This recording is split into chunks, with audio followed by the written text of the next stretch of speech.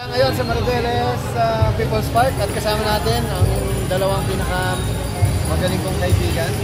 Herschel Lopez, ang kilabot ng mga Siklista. siklista. Nanalo siya second sa kanyang edad category. 31.9. ah, Alex Xavier!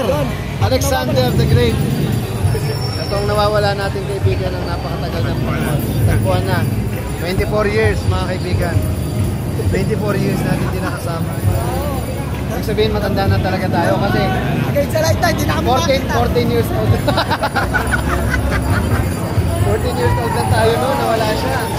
Siya ay 17 na noon. Ayan, at uh, kita mo naman, macho macho pa rin. Pero dati, ah, ito lang yung taong may palikpik. Alam mo yung at unang ah, nagpakita sa amin ng sperm cell. Oo. Ay, ayan. Alright, ano masabi mo Alex? Masaya dahil na-meet ko yung mga best friend ko. Ah, talaga? Ikaw, ano masabi mo na meet mo sa wakas ang... Nakakatuwa, nakakatuwa. Yan, uh, reunion. Ay, post natin to sa ating grupo. Ang ah, PUP BEPS Batch 95. Ang the best batch. Wala kayong choice. Batch ko yun. Okay? Thank you, thank you. Masabi mo Alex? Thank you, thank you. Thank you very much. Wish you all ka mo. I miss you all, my friends. Meron pong kanta, naalala ko yung kanta ni Alex ha.